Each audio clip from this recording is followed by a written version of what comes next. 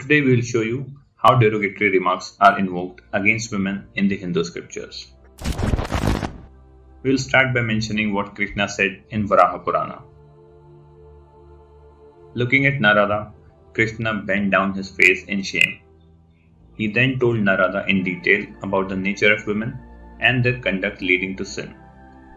They have no consideration of time, of secrecy of what they do. Still, they pass to be virtuous.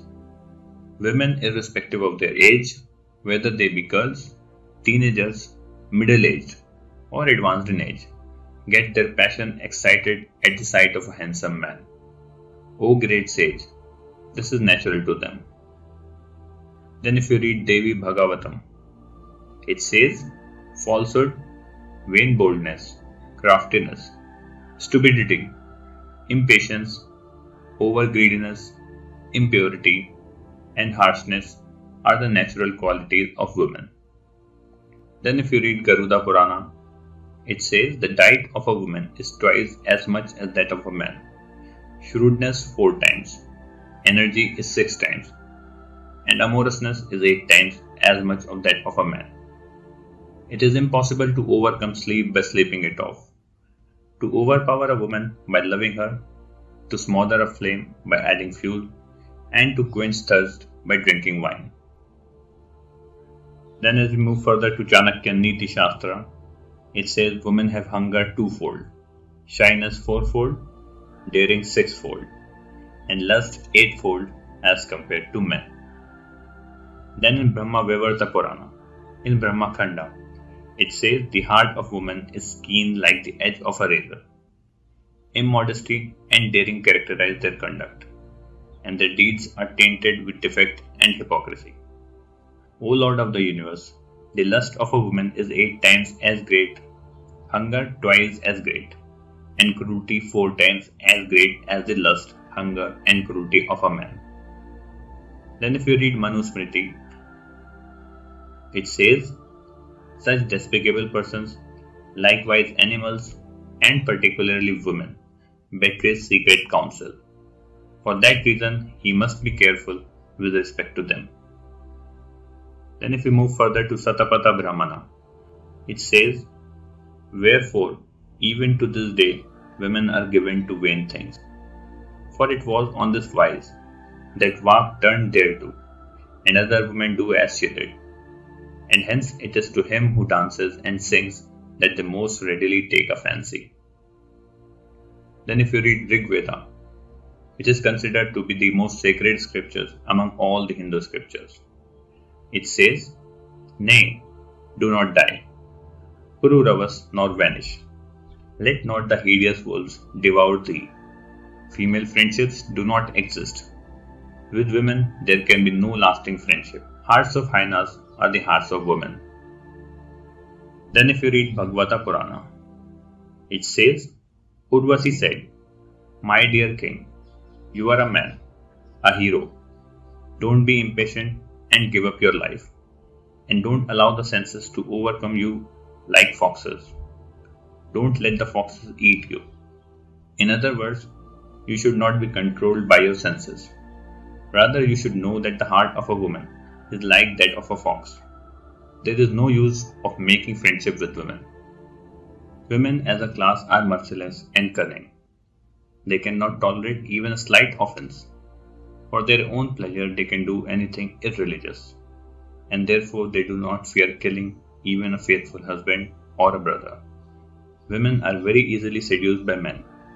Therefore, polluted women give up the friendship of a man who is their well wisher and establish false friendship among fools.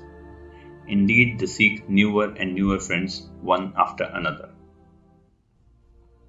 Then we'll move on to Garuda Purana. It says the prosperity of a kingdom comes to an end with the curse of a Brahmana. The spiritual power of a Brahmana comes to an end with his sin. All decency in conduct of life comes to an end if residence is taken near cowsheds. The family is ruined if women rule. Then in the Chanakya Niti Shastra, it says courtesy should be learned from princes, the art of conversation from pandits, lying should be learned from gamblers, and deceitful ways should be learned from women. Then Chanakya Shastra further says untruthfulness, rashness, guile, stupidity, avarice, uncleanliness, and cruelty are women's seven natural flaws. Hinduism views barren women and widows as degraded women. So let's see what does the Hindu scripture says about it. If you read Brahma Vaivarta Purana, Prakriti Khanda, it says, Whoever eats food offered by a childless widow or a woman in her menses dwells in the pit of red hot iron for a century, afterwards born by turns. Then the verse in Devi Bhagavatam says, He who takes the food of a childless widow, and the same of any woman that has just bathed after menstruation, goes for 100 years to the hot Loha Kunda. It is a place where iron is in a molten condition. For seven births, he becomes then a crow, and for seven births, he becomes born of a washerwoman, full of sores and boils. Then he gets purified. Then the Vishnu Samhita says, having seen an insane, intoxicated, or deformed person, he shall turn back in his journey. Similarly, having seen persons clad in kashya or dirty clothes, as well as kapilas, barren women, eunuchs, hunchbacked persons, one shall refrain from starting on a journey. Then Apastamba Samhita says, boiled rice should not be partaken of in the house of a barren woman. He who unknowingly eats at such a house is consigned to the hell of Poyasam after death. Then Agni Purana says, a pregnant woman, a widow, drugs such as the pinyaka, etc., a chandala, a member of the Shivapacha, or any other wild caste, a butcher, or a killer of birds should be removed from the presence of a man about to start a journey. Hinduism says that horse becomes widow and barren in next life. Let's see what does the scripture says about it. In Brahma Vaivarta Purana, Krishna Janma Khanda, it says a whore after having suffered the torments of hell called Raraya for a long time attained the form of a useless worm for a century, and by turns for seven births she attained the condition of a widow, a barren woman, an untouchable woman of low class, and a woman with her nose cut. Hinduism even says that one should avoid the sight of a widow, a barren woman, and equates them to bastard, thieves, etc. In Brahma Vaivarta Purana, Krishna Janma Khanda, it is mentioned that, O Father, now I am going to describe to you things whose sight is sinful. Bad dream is the root of sin and sole cause of calamity. The sight of the following the cook of a Shudra, one who burns the corpses of a Shudra, a Brahmin who eats food prepared in connection with the funerals of a Shudra, a Shudra, a widow, a Kandala, a bastard, a thief, a liar, a Brahmin who is the husband of a barren woman, and a Shudra who commits adultery with a Brahmin woman. Hinduism also equates whores to childless widows and prohibits eating their food. It is mentioned in Brahma Vaivarta Purana, Krishna Janma Khanda, O Lord of the Vraja, a Brahmin who accidentally uses food offered by a woman in her menses, a whore or a childless widow undoubtedly consumes odor. He always leads an impure life as long as he lives. Then, if you refer to Skanda Purana, it says a woman is more inauspicious than all inauspicious things. Never can there be accomplishment of anything when a widow is sighted. All widows except one's mother are devoid of auspiciousness. A wise man must avoid their blessings. At the time of the marriage of a girl, the Brahmanas shall recite thus She shall be the constant companion of her husband, whether he is alive or not.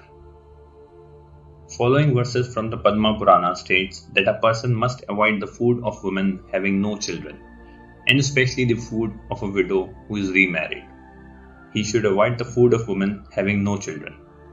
He should specially avoid the food of a widow who is remarried. So also of the husband of a woman who is married twice. If you read Brahma Vaivarta Purana, Krishna Janma Khanda, it shows how a widow should lead her life. It also talks about tonsuring widows. It says a Brahmin widow should daily take boiled rice with ghee at sunset and never cherish lust in her heart, as the Shastras hold. Such a widow must not put on fine clothes. She should avoid the use of spices, incense, oil, wreath, sandal, conch shell, vermilion, and ornaments. She should put on dirty clothes and remember Narayana alone. She should not use sweet meat and must avoid riches. A widow sleeping on a bedstead causes the downfall of her husband, and if she mounts a car, she goes to hell. A widow ought not to polish her hair or cleanse her body, and if the clusters of her hair be knotted, she may shave them off, even in places not meant for pilgrimage. A widow should not anoint her body with oil. She should not see her face in the looking glass, or behold the face of any other man. She should not witness an opera, dance a grand festival, or see the face of a dancer, a singer, or a well dressed man. She should always listen to pious narratives as recited in the Samaveda. It says, A kingdom without Vaishnavas is like a widow with tresses of hair not removed, or like Virata, holy bath, or like Dwadasi with Dasami overlapping it. Then Skanda Purana further mentions that a widow who habitually lies on a couch causes the downfall of her husband.